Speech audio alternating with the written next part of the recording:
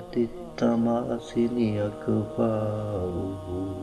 أبوهم آدم والأم حواء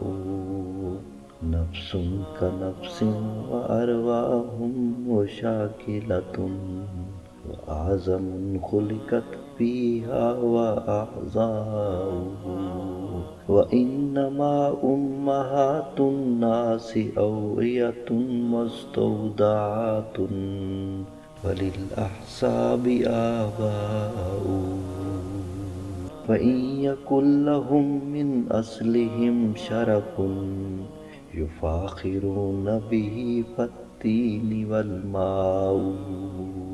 ما الفضل إلا لأهل العلم إنهم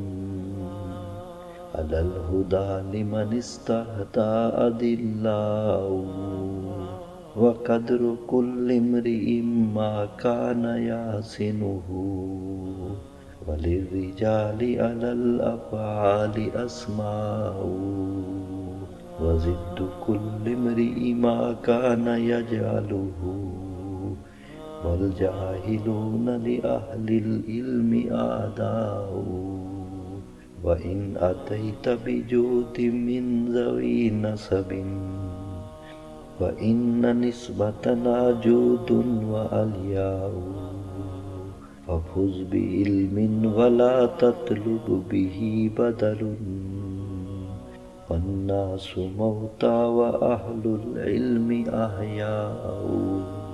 الناس من جهة التماثل أكفاء. أبوهم آدم والأم حواء